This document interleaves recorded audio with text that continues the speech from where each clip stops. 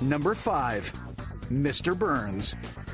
When it comes to all of TV's villains, Montgomery Burns on The Simpsons is excellent.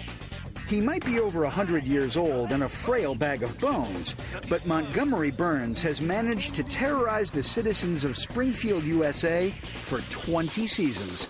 I have to say Mr. Burns is my favorite villain. I mean, he's been there for like for 15 years now, and you got to love Mr. Burns and his little sidekick, Waylon Smithers. So I'm, I'm going with Montgomery Burns.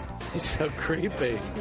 And his, and his relationship with uh, Smithers is so creepy.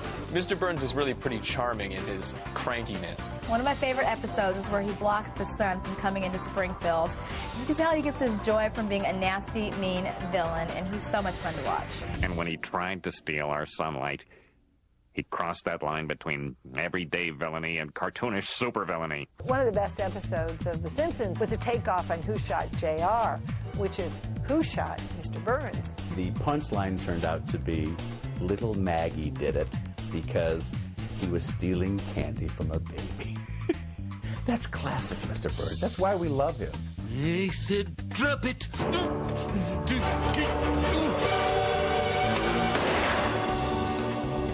I think more people should steal candies from babies. I mean, it's horrible for your teeth. Mr. Burns was trying to be a good guy for once, and he gets shot.